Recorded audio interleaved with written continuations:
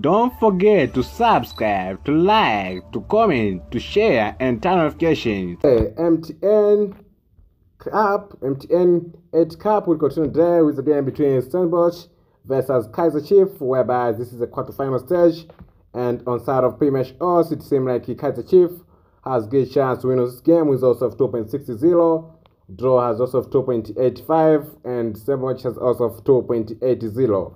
This game will take place at the Daniel Craven Stadium in Stellenbosch, South Africa, while on side of uh, head-to-head matches in the last five games, Stellenbosch managed to win in two games, and there is three draws. This means Stellenbosch has got a sort of winning when they play against Kaizer Chiefs, whereby all five games are South Africa Premier League matches, and they took place between 2020 until 2022. Last matches for Stellenbosch in the last five games, Stellenbosch managed to win in one game.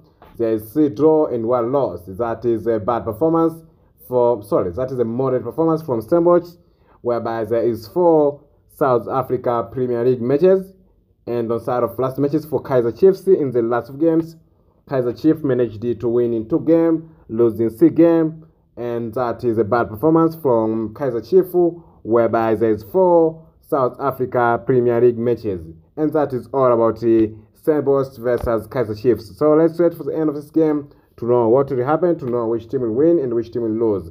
But all, all it seems like all two teams are well prepared for this game, and no team is here to lose. Each team need to win. Thank you. We are CHAL TV, and we are here for sport news daily and every time to make sure that you don't be far away from sport news. That is all. Thank you. Have a blessed day. Have a good day. That is all.